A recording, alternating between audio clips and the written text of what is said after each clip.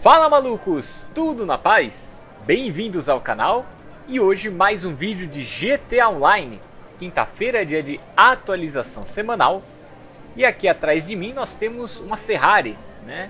O Stinger GT que eu tentei pegar ali na roleta e acabei não conseguindo, mas não tem problema porque eu tenho um desse na garagem e vamos aproveitar para customizar esse carro juntos, já que ele nunca apareceu aqui no canal, beleza? Então, bora lá!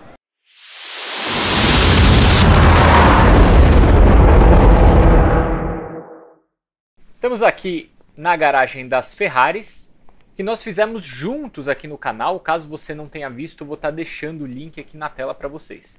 E aqui no canto nós temos os Stingers, Stingers, né? É, o GT, que é esse da direita, que está na cor vermelha, e o normal, né, vamos dizer assim, que é o conversível, que está aqui na minha esquerda na cor amarela.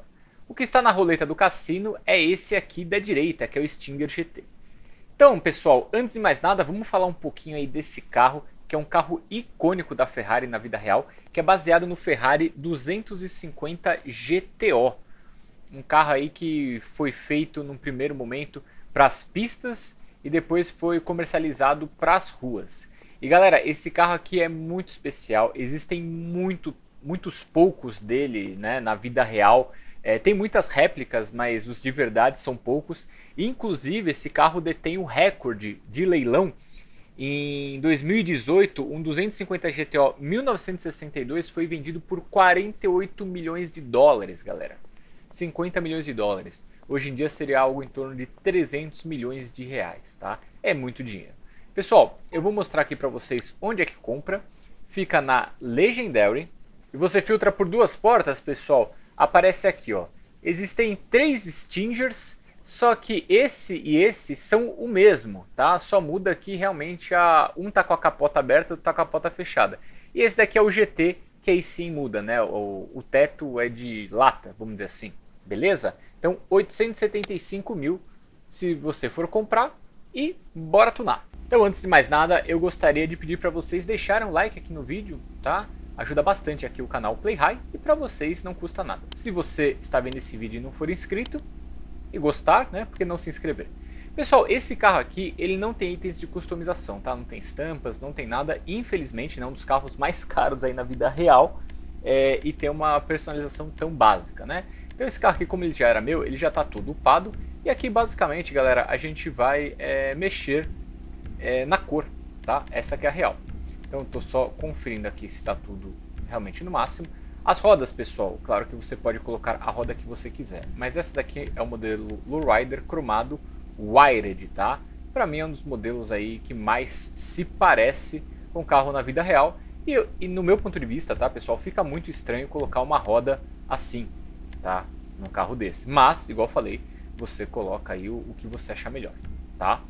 Pessoal, esse carro aqui eu sempre imagino ele como vermelho, tá? Mesmo porque praticamente todos são vermelho. Algumas vezes os que não são vermelho são as réplicas, tá? Então, se você quiser deixar ele vermelho, é o vermelho torino. Eu não vou cometer nenhum sacrilégio aqui, não vou colocar uma cor que não exista, tá? Então eu pensei até a gente fazer um cinzinha que existe desses daqui cinza, né, prata. Eu vou estar tá deixando a foto aqui para vocês. Mas também pensei em fazer o azul, tá? Não vou cometer nenhuma heresia de pintar de laranja ou algo do gênero, tá? Então vou manter aqui nas cores originais. A foto eu vou estar tá deixando aí, pessoal. Acho que o azul que mais se aproxima acaba sendo esse azul saxão, tá? Sachão, não sei. Saxão, acredito que seja. Eu vou pintar dessa cor, tá? E o perolado, galera, eu vou dar uma clareada, tá? Eu só não sei se vai ser assim algo pro branco ou se vai ser o azul, diamante, né? É, infelizmente, essa garagem aqui que a gente está usando para tunar, ela é uma bosta, né? O, a luz dela. Mas acho que vai ser então perolado azul diamante. Beleza, galera? Como falei para vocês, não tem muito mais coisa aqui pra gente customizar, mas vamos dar uma volta com esse carro, caso você esteja na dúvida aí se deve ou não pegar na roleta.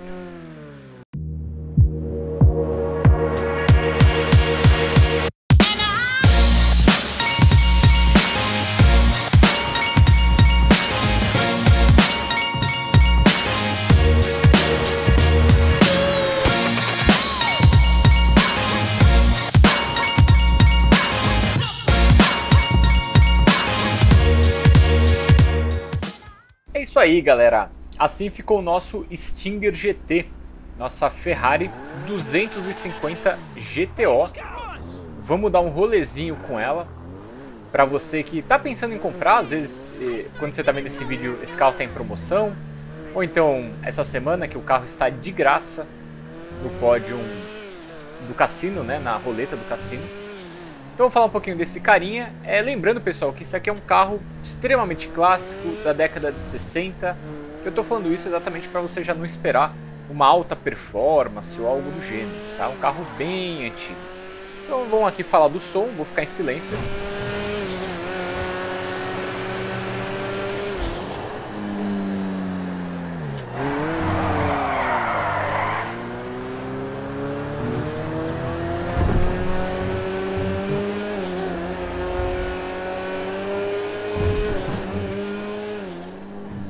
Bom, pessoal, já deu para ouvir, né? O escapamento totalmente silencioso, não faz pipoco, tá? Não sai foguinho, nem nada do gênero. O som do motor grita bem, você até vê que ele é, teoricamente gira bem, né? Aqui dentro a gente vê que tá mais do que 10 mil giros o ponteiro, né? é, e você ouve o barulho da turbina. O barulho da turbina, eu vou ser sincero que eu acho dispensável, por conta que nesses carros clássicos eu até preferiria que esse espirro não, não houvesse né? Vamos dizer assim. Mas tudo bem. Vamos falar de visual, pessoal. O visual em si do carro é muito bonito, tá? É algo aí que lembra muito o 250 GTO, que na época era um, foi um carro aí, é, imagina, um carro todo redondão, assim, é, com aerodinâmica na década de 60, né? Então realmente é algo que não se via assim.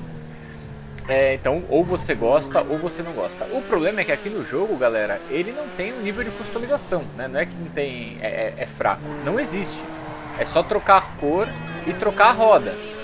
Não acho que precisaria ter muita coisa, mas por exemplo, poder fazer o um modelo de corrida, né? Então se a gente tivesse aqui algumas estampas, estampas de corrida mesmo, da época, é, aqui no lugar do capô, às vezes aquele, aquelas travas de capô, que é aquela cinta de couro, que é de época, sabe? Eu vou estar tá deixando uma foto aqui é, para vocês. Então, coisas assim seriam interessantes para esse carro. O complicado é não ter nenhuma customização, nem ponteira de escape a gente consegue trocar, né? Então, realmente, isso acaba sendo um pouco chato, tá? E, pessoal, nível de performance, esse carro aqui é da Esportivos Clássicos. Não é dos carros que mais anda dessa categoria, né? Nessa categoria a gente também tem é, outros brotes, o que seria a Ferrari F40 que, que é o Turismo Classic, e a Chita, né? Que são veículos que andam super bem. Então não tem como competir com esse carinha. Mas é um carro aí mais para você é, dar um rolezinho, né? Opa! Painelzinho de madeira, né? Então acabamentozinho é legal, volantezinho de época, tá? Aqui a porta também de madeira, beleza? Aquela pergunta, vale ou não a pena ter esse carro na garagem? Pessoal, vale a pena sim ter esse carro na garagem, ainda mais numa garagem como a nossa, né, que nós fizemos juntos só de Ferrari.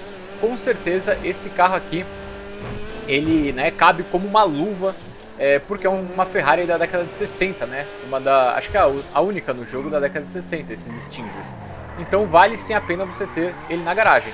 Mas eu não acho que vale a pena você gastar dinheiro com isso, tá? Principalmente 800 mil. Então, se você estiver fazendo uma garagem só de Ferrari, você tem que ter esse carro. Aproveite essa semana que o carro está de graça, né? Então, vai valer muito a pena você ter um Stinger na sua garagem das Ferraris ou na sua garagem dos esportivos clássicos, não gastando nada com esse carro. Realmente vai ser muito mais interessante do que você ter que desembolsar uma grana. Beleza, galera? O vídeo de hoje fica por aqui. Eu espero que vocês tenham gostado. Não esqueça de deixar aquele like, aquele comentário e até o próximo vídeo.